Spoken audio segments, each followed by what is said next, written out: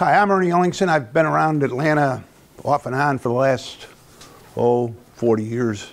And uh, I've been involved with this group since about 2004. So uh, the last five years I've been living in Vermont. I'm back. Uh, it's much warmer here, really warmer here. Uh, my friends in Vermont are telling me that I'm lucky because they have seven feet of snow on the ground. And, uh, and believe it or not, sugar season's about ready to start.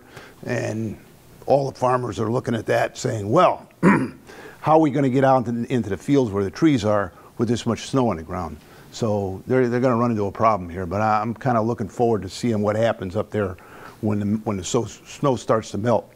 Today I'm going to talk about Meteor. Has anyone heard about Meteor? Anyone know what it is? It's a, basically a JavaScript framework. Doesn't have anything to do with Ruby. Uh, a, everything is written in JavaScript. It runs on Node. Uh, there's server-side JavaScript. There's client-side JavaScript. Uh, when you design your application, uh, you, you actually design it with here's the code that runs on the server, here's the code that runs on the, on the client. So what I'm going to do is kind of give you an overview of what happens. First of all, if you want to install it, you can do it while you're waiting here. You can just simply do curl http um, install.meteor.com and pipe it to bin slash sh. And it'll install itself. It takes about three or four minutes to get it installed on your computer. And um, I'm using a Chromebook today. I'm still experimenting with this. I want to see if it works all right in audiences like this because it's really lightweight and I can carry it around and not not worry too much. And I've got a Ubuntu running on Chrome, so it's a little strange. First of all, um, what I'm going to do to start with is I'm simply going to start and design um, or create an app.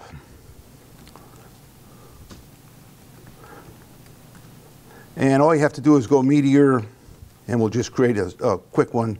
Uh, Meteor create ATL RUG and it'll and once once we have this thing created, it it'll it'll set up pretty fast. Anyway, it's done. So uh, you can see that it gets, and we'll take we'll just cd to that directory. And whoops, I do that more often than not. And uh, in this directory, I just do them. there are three files. There's an Atlanta Rug CSS, which basically is empty right now. There's an Atlanta Rug HTML and an ATL Rug.js. So we'll take a look at each of them in pieces. And then you'll get an understanding of exactly how uh, Meteor works. So first we'll just uh, take a look at the HTML. Pretty simple. You'll notice it uses templates. And we have a simple template, and every time you create a just a name project in Meteor, it'll give you this thing. It's their hello template. It comes in all of them, and you can start from there to doctor things around. But we'll take a look at what the structure are. Structure is. You can see that it's it's uh, pretty simple. You'll notice up here where the hello is there. There's a double handlebar and then a greater than sign and hello. It just simply says load the hello template there, right underneath that first header H1 there. And so if we take a look at it, uh, the way you run it on, and I'm going to I'm going to run it locally first. For those of you, I'll give you an IP address for this machine in a second. For those of you who have computers, I'll, what's interesting is Passenger, which everyone should be familiar with if you're running Ruby on Rails at all. Passenger will also run Node, Meteor, and Python. So I'll show you we can actually load this thing in Passenger. And what's interesting, yeah? Sorry, would you mind making the font a little bit bigger? Um, I can try. Uh, is that, because this is the best resolution I can get here.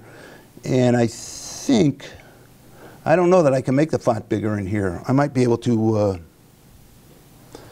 I don't think so. Well, this is Vim, so you think, well, I, I don't know about Vim running on this thing.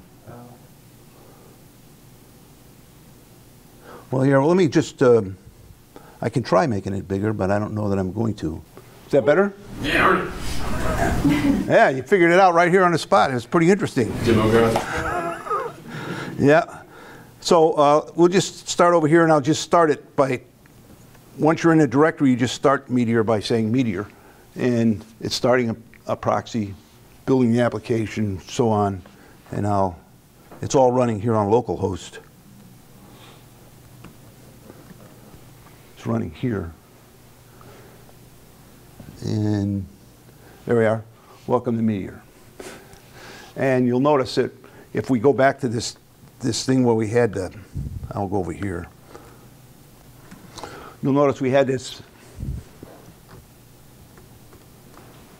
we had this uh, template in here where it says button click me, you press the button blank blank times as a thing, and if you go back here to the site, it's, it's pretty straightforward. You just start clicking on this button, and you'll see that it, just that little template is incrementing the counter. Pretty straightforward, easy to see. Now, what we want to do is uh, we want to look at what that JavaScript looks like. So we want to vim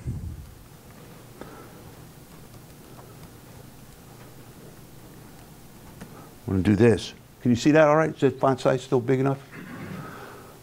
Um, you'll notice that there's two things here. There's a thing called template helpers and a thing called template events. And that's it. That's the JavaScript. And it's what's interesting about Meteor is it's reactive. This is it. You notice I haven't written any jQuery or anything to, or linked events to buttons or anything else. It's just here. The hello events is simply a, an object, JavaScript object. That's uh, all the events that happen, and there's a click button, but we could have other kinds of events. We could have events, uh, a blur event, uh, or some other event going on in any object on the page, and we can put it in the events thing. And when the events go on here, you'll notice it's, it's, it's using a session.set counter. Well, the session is a built-in reactive variable. Anything that, if you do a get on session, which is what happens up there in the helper, notice that helper has a variable in it. It returns session get counter. If you have that, a getter on session, session, anytime you make a change to the variable that's being, that's getting, that the system's getting from session, anytime you make a change, it immediately updates that variable in a template. So you don't have to worry about uh, mapping events again. You simply make a change to session down here with the counter. It changes the counter, and the template changes the. We'll split it here and take a look here.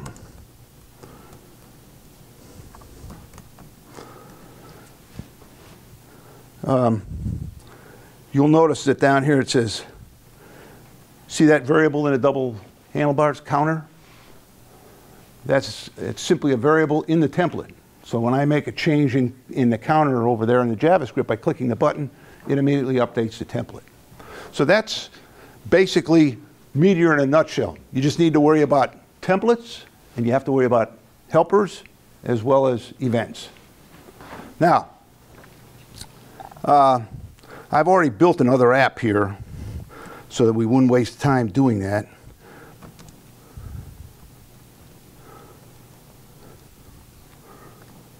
And here, I'm going to show you something else.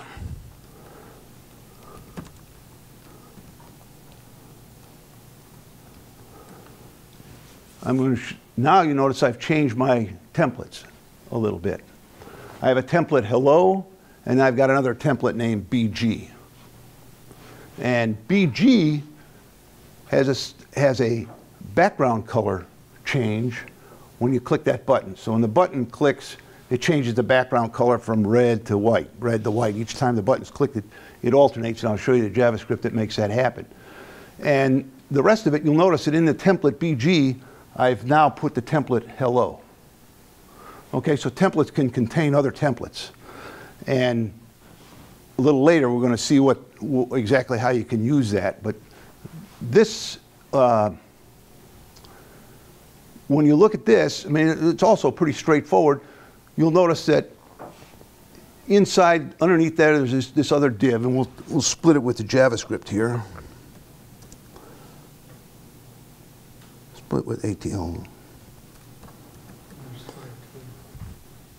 We'll split it with the JavaScript and take a look here. And you'll notice that, uh, that there's template, template hello helpers and template BG helpers. And you'll notice that BG, the function, you'll notice up there in the thing it says return session get BG. And down here, we're gonna, we're gonna have the, the, uh, the BG template actually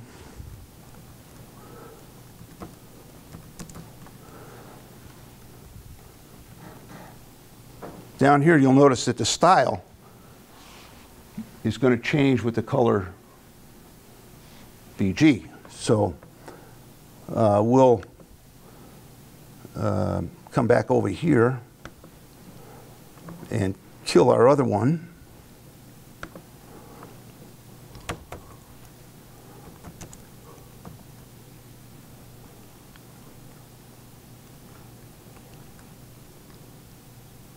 And we'll start, we'll start this one.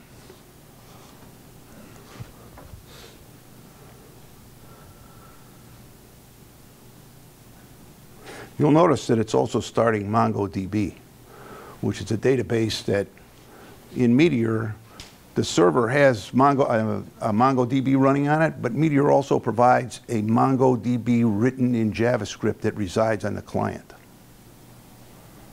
All right, now that's an interesting thing because any updates you do in the client looks like there's no latency at all. You update the database in the client, the client updates its database and it talks in the background back to the server and updates it. So when you install Meteor, you also install MongoDB. You don't have to worry about installing both of them or uh, one of them at a time. They, they're, and if they're there, you can do other things with them. Let's just uh, refresh this now, and it'll, it'll look the same.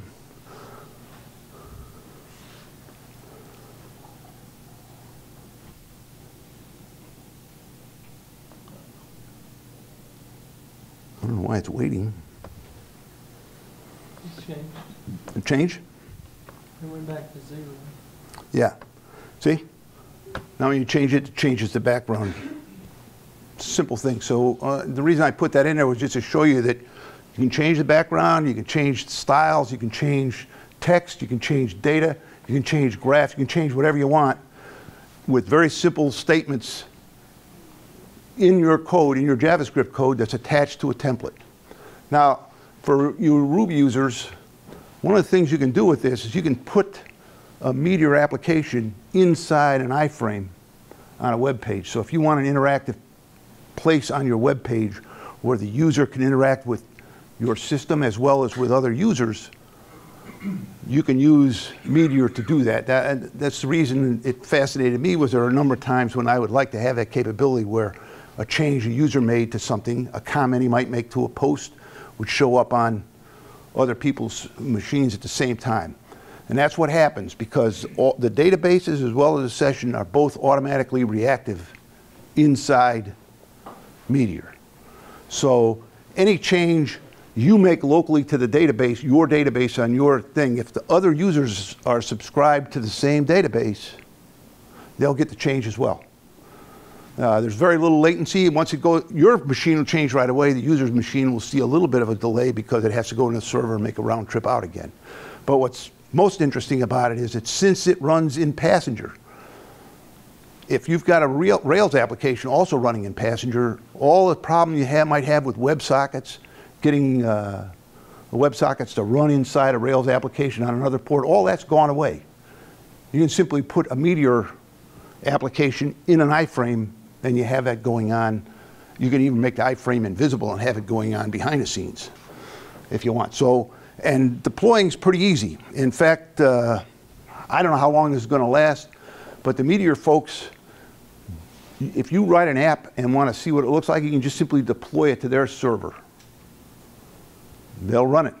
They won't charge you a nickel for it. like I said, I don't know how long that's going to last, but you can develop whatever you like in it run it on their server, see how it looks, ask people to look at it if they want, if you want them to, and you can see what's going on with that. Well, on top of this, I did one, I've added one other application to just to show you what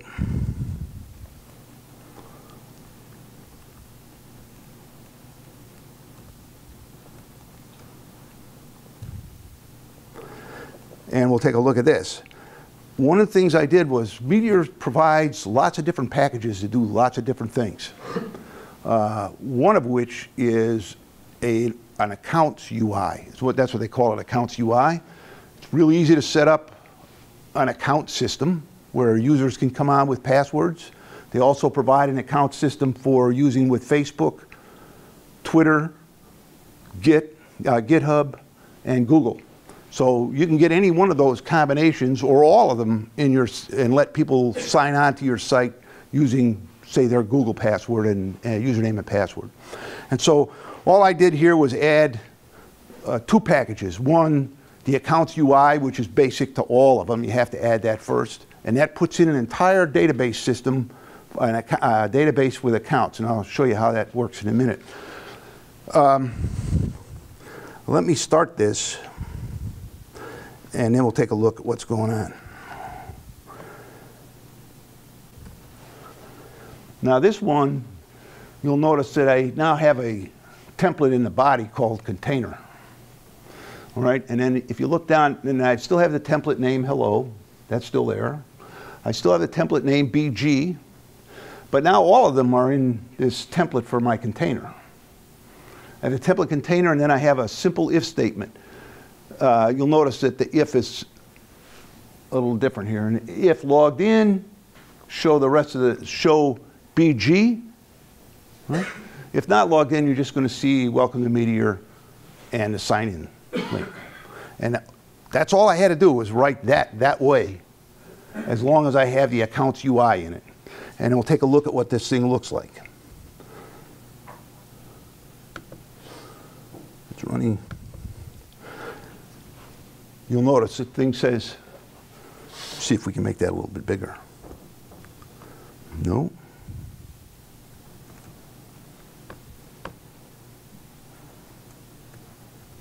There's a sign in thing there, and then you drop that, and there's a couple of things that are there. Sign in, it asks for an email and a password, and I have a user already. But if I wanted to create a user, if I if I if you want to create an account, it just says, it gives you another form, create an account. All that's built into Meteor. I'm not, the only code change I made was the change you saw in that HTML file. That's it. Uh, as well as a helper to put this, I'll show you that in a second, what the helper looks, or the helper in the event thing looks like. So I'll just put my email address in here, because I already have my, an account here.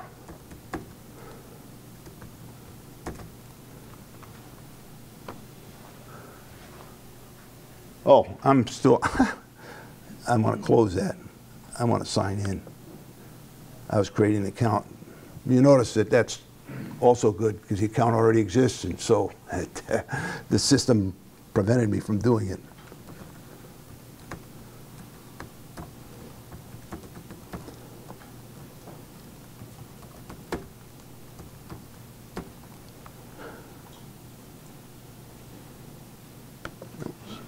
Sign in. And there's our click me. And it's doing the same thing. And you'll notice that my username is up there in the left-hand corner. Now, you, I, I could show you another site that I've built for some people up in DC so they could alter some data. Uh, and I, I have an entirely different form. I mean, you're, you're free to design any form you want, but that's a built-in form that comes with the Accounts UI. I mean, it's really quick, but you can design your own forms and background for that. And um, to show you what's going on here, we can go to this directory here, and we'll, we'll just do this. We'll go Meteor Mongo. Okay? And now I'm in the Mongo database that's running behind this thing. And so if I go use Meteor here, it's Mongo.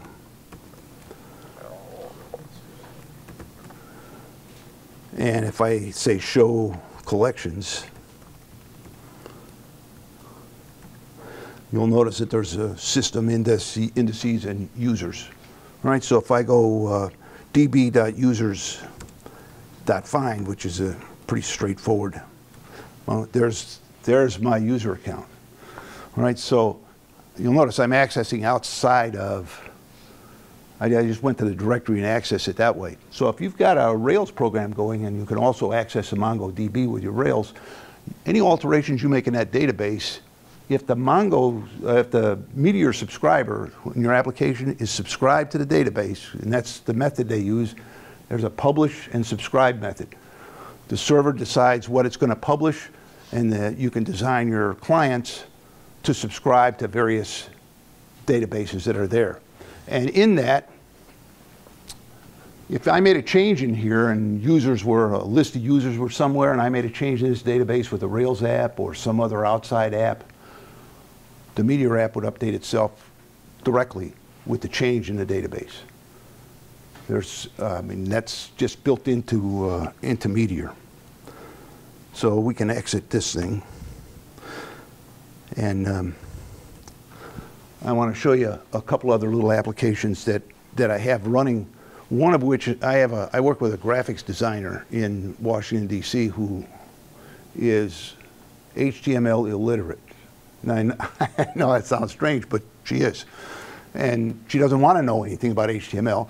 She's a wonderful designer, and she does a lot of stuff. She sends me a lot of stuff, pictures, you know.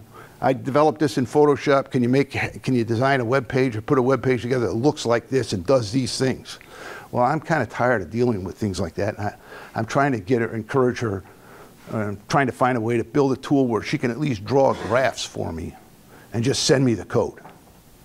And uh, uh, so I, I've been working with uh, D3 and some other things to uh, get this application up and running. And we're gonna, I'm gonna show you what it looks like too here in a second. We'll just, we can not worry about that right now. Over here, this one. And this one, I'm using um, this particular application, and that's, you stop with a control C. This particular application is using uh, what Meteor calls their iron router. And when I start showing you the, out, the layout of the code and things like that, you're going to say, well, it looks just like Rails or something like Rails, because it really does. Um, they have their own conventions, and um, we'll just go over to that application right now.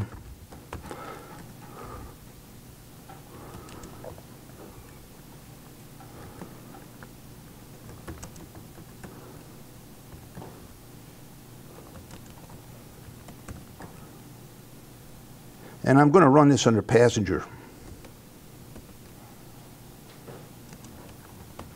Just to show you what happened. When I'm running Meteor just as Meteor, it's only available on the local host. It binds itself to local host. It's not accessible from outside your machine. The nice thing about Passenger is you can run Passenger, and pa- it'll run inside a Passenger, and Passenger does bind itself to 0000 at, at port 3000, or you can change that port if you want. That right arrow is a broken pipe is this thing that's still there. And uh, so if we, uh, I'll just close this and, and open a new tab. There's a graphic uh, program that's running under Passenger there. And uh, that graphic at the top is, believe it or not, is a, micro, is a microscopic image of a moth's wing in case you're wondering what those look like really close up, that, that's what it is.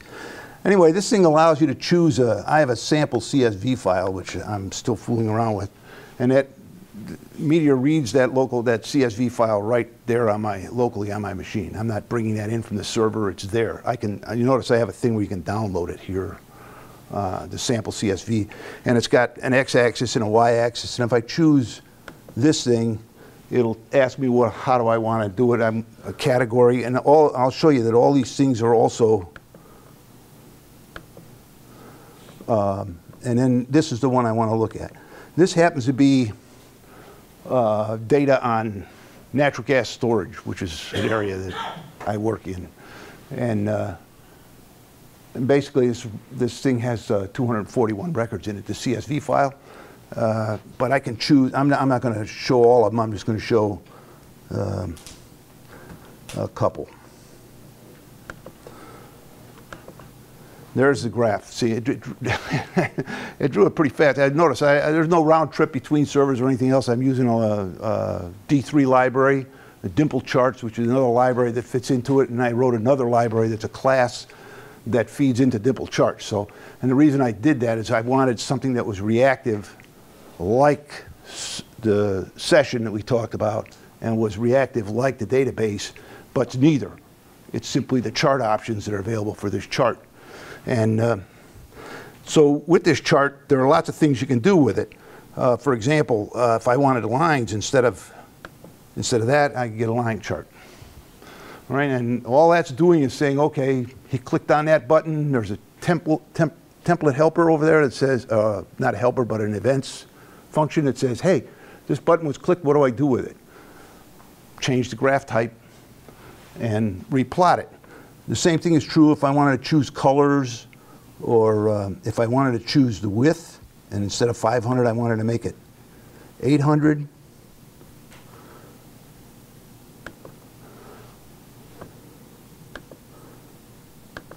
I can do that, it'll widen the thing out, change the layout on it. If I, I can take the, I can take the markers off too. You don't want markers, just a line. Uh, If I want to plot another one with it, like this is uh, moving average of the injections. If I wanted to plot the injections, both of them would be lines. There's another data set that's there already that I read in that I, I make a combination chart. But anyway, once this person gets done with this, designing her chart, I wanted to do, there's a couple of things she could do. One, I can export it as a uh, PNG file. And this is a PNG file. You can just copy and paste it in an email. You can take the, the file and save it out of Chrome so you can use it in another website.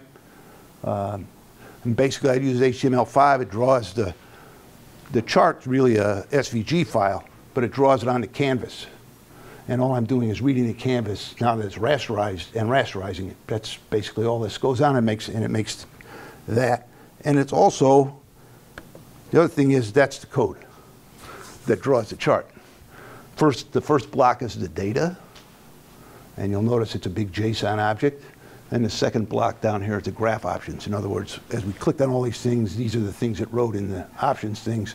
So there are two things. If I'm on the, if I'm sharing this with her, we're both on the system together, and she's drawing this, and uh, we're pulling these things out of a database instead of out of a file, which is what it's doing right now.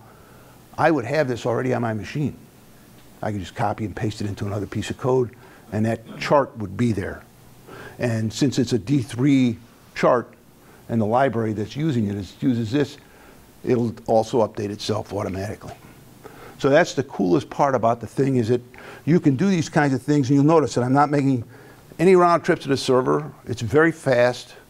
Uh, I find it extremely uh, a thing that will become extremely useful down the road for any interactive page. Now, most of the time, what I've seen are, at least on the Meteor forums, they're uh, blog programs, to-do lists, things like that. I see a lot of applications in things where mark, people are interacting in markets, where there's bidding going on. This kind of a this kind of a system would be very very useful for that because everyone would be up to date all the time. Any changes made locally would change everywhere else. You can control who has access to what parts of the database by the way you publish it. There's code to write in Meteor that says, all right, look, only publish this, and here are three fields in the database that the user can't see. Unless the user has these privileges, then he could see that. I mean, you can write code that, that kind of restricts the way the database is accessed. One of the things to warn you about is that when you start a Meteor project, this one's not that way, but when, it, when I initially started it, anytime you use a database in Meteor, they have a thing called auto publish which means every piece of data that's in the database that the server knows about is published. And all the privileges on that data are also available to whoever wants to come in. So you open the JavaScript console and start changing the data around without a problem at all. Not just on your machine, but on the user's machine. Then you can turn that off, and they recommend that you do, but it's, it's kind of buried in the documentation. You're reading along, all of a sudden you go, what? this is going on? I'm, that it's totally available? No. So, I mean, it's just a warning that if you start using it, you want to be aware of that. Now, uh, I want to show you uh, just for a moment the structure of what this, the way this thing's laid out. And because I use Iron Router,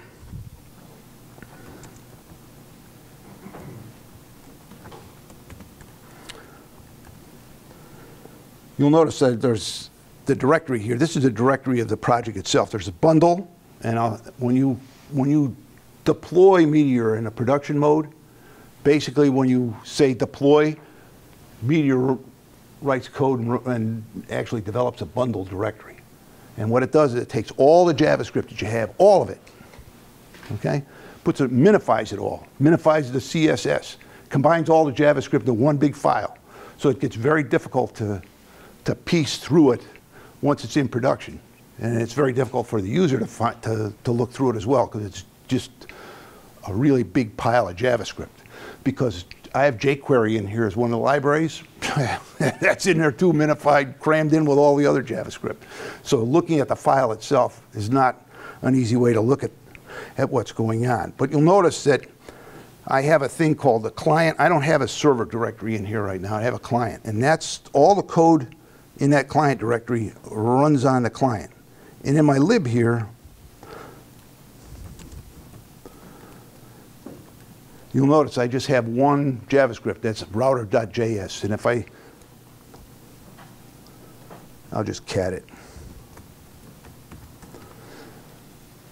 You'll notice that uh, looks pretty much pretty similar to a Rails router, yeah, just casually. And uh, template is a layout, right? And so if we go if we go back up into the client and we go to uh, templates,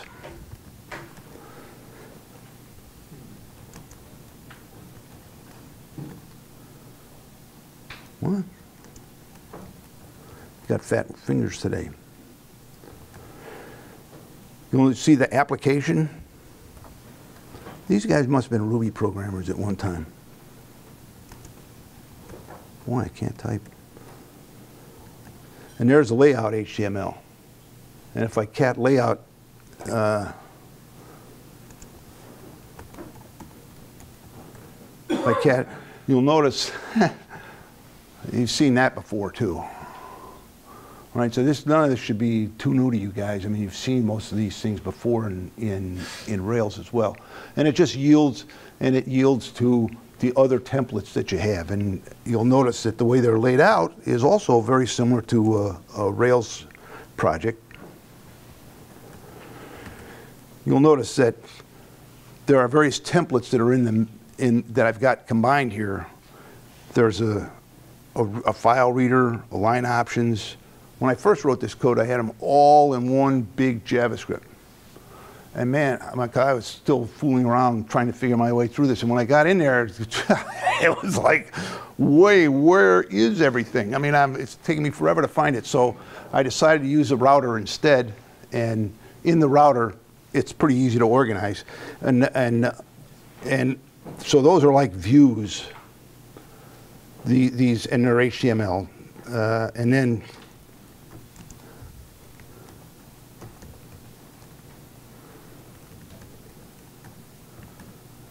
You'll notice that those, the JS are also similar names to the, to the views, which is also somewhat Rails-like.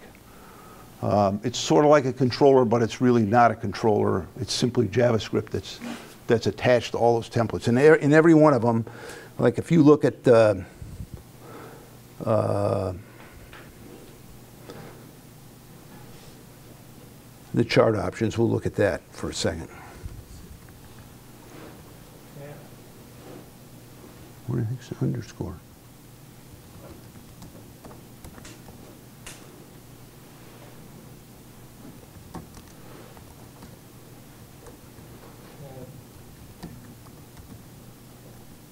There it is.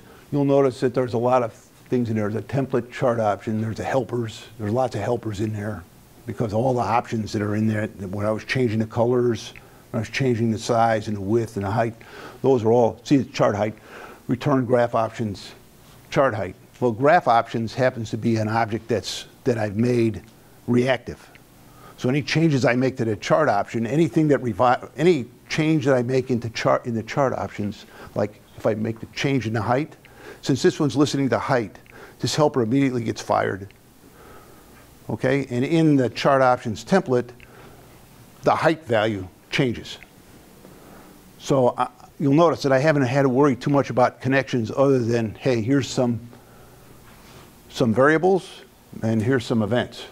Linking them together was pr is pretty easy and it's very fast. I mean, you can put things together really quickly uh, to make these things change like this. Uh, the fact that it runs under passenger is, a, uh, to me, a big deal because it's pretty easy to deploy. This is not e this is not easy if you use Red Hat's OpenShift. It's not, and I do use Red Hat's OpenShift. It's not easy to deploy there. Wow, it's just unbelievable headache. And the reason is is that Meteor changes the node version that it requires every time it updates itself, and Red Hat OpenShift doesn't.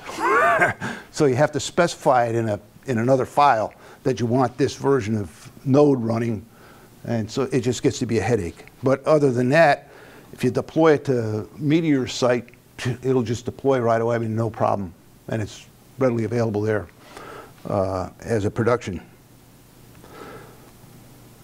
So it's free. It's everything in it's open MIT license, so you can do pretty much whatever you want to do with uh, with the code. Any changes you want to make to it, or adaptations you want to make to it.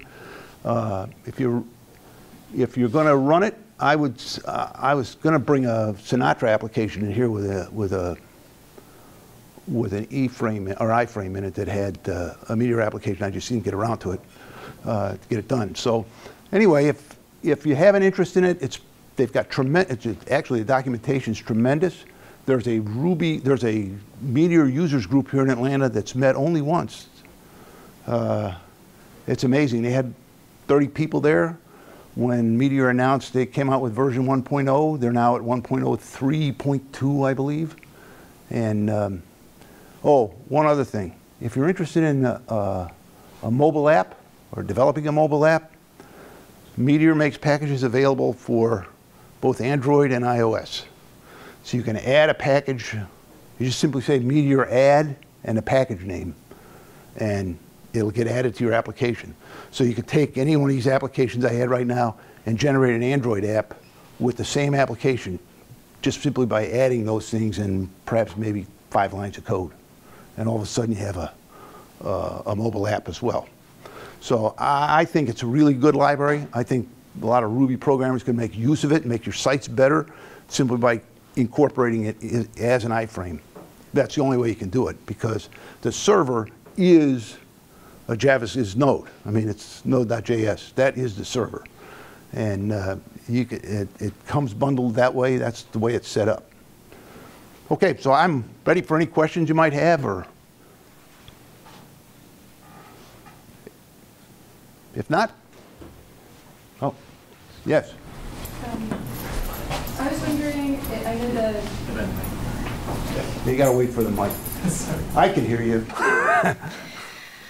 Uh, so, since the database is also on the client side, is it possible to only load a subset of your data or have a smaller database that you use? Yeah, there's some latency with the, with the data that gets loaded. But when, when you subscribe, though, you can, uh, rather than doing big finds, which will load lots of stuff into and cache it in the database, just do small finds and narrow things, and you don't, the latency just, it's still there, but So could you you could could you only load recent changes? No, you can load whatever in, let's put it this way. At the server side, you publish uh, uh, a what they call a collection, a Meteor collection or a Mongo collection. It's simply like the users that you can publish that as a database. Right, as a, as a table. I worked on a, uh, this was about a year ago, and it's not very fresh in my mind, but I worked on a Meteor side project with someone that was a chat room app. So Mhm. we had, um, you could type in text and it would appear to only people in your Right, chat room. Right. And so I was just, I was curious in like the context of that, would you have every message everyone's ever sent on the client side? No, it would only be Or the only- ones that the server allowed you to subscribe to. Okay. The service may, server may publish it, but it may only publish things that where you're in a group. Let's say it's a, you designate it as a group inside the database that you belong to a group. The server would say, okay, this user knows who you are, right? This user belongs to this group. He can, this user can see these messages or these posts or these prices or whatever you might want to exclude from. And you can specify which fields the user can see.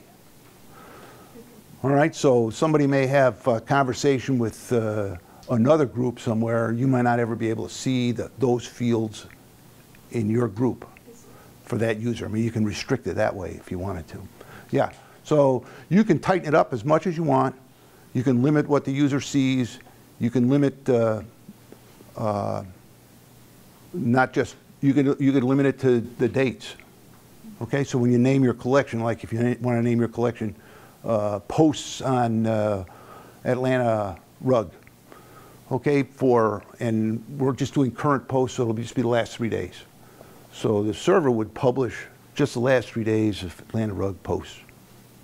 And the user would subscribe to that database name, that's the way you'd write the code. The subscription would be to that collection. And once you made a request to that collection, the server would respond according to the rules it has to respond to. So you write your own rules, the user, uh, and you write your, your subscription for the user. That's why you want it. One of the reasons you don't want this auto run or auto, uh, auto publish going on. Because the user could say, heck with those rules, right? And Yeah, I'm an admin now, right? Yeah, so you have to worry about it, yeah. Right. Or you could just restrict it to admins, right? There are, ad- there are a number of libraries out there that, that uh, have roles now where they put roles in the, uh, along with the users. That's in addition to the standard Meteor thing, but there's a bunch of them out on GitHub, but tons of them.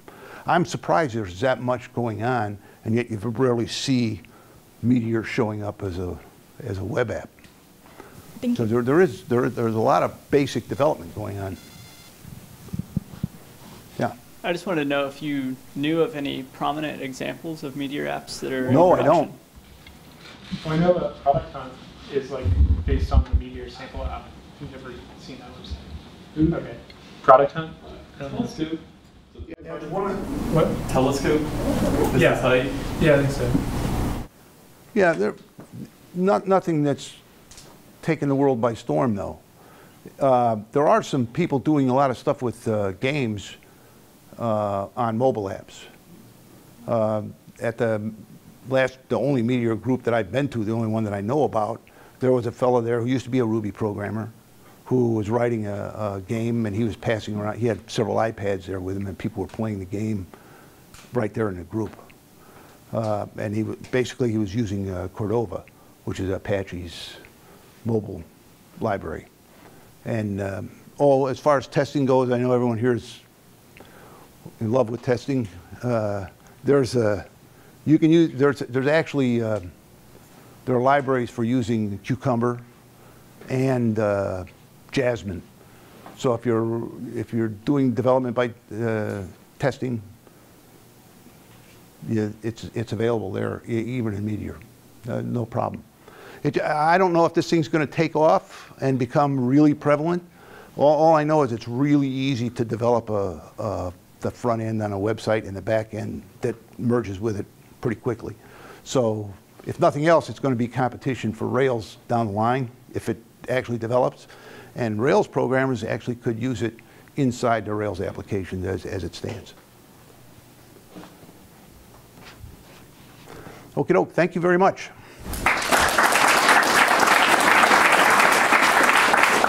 This video has been sponsored by Rietta Incorporated. Learn more today at rietta.com.